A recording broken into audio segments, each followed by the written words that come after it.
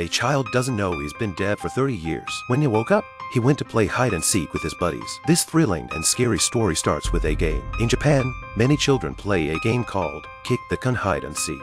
The rules of the game are very simple. First of all, all of us choose the ghost in the game of rock, paper, scissors. That is, the one who captures people. Then we find a place to put the cans. After kicking out the jar, everyone find a place to hide. The ghost needs to pick up the jar first, and then count a few and start catching people. On the way to catch someone, anyone who kicks the jar away will win. Simply put, it's the upgraded version of hide and seek that we played when we were kids. Emma, our heroine, played this game with her friends when she was a child. In that game, the smallest Tom was the ghost after kicking the cans. That gets it until the end of the game. Everyone didn't see Tom, thought he went home early alone, so we all went away. But after that, Emma has never seen Tom again. 30 years have passed since then. All of our friends who played the game together are working. They got married.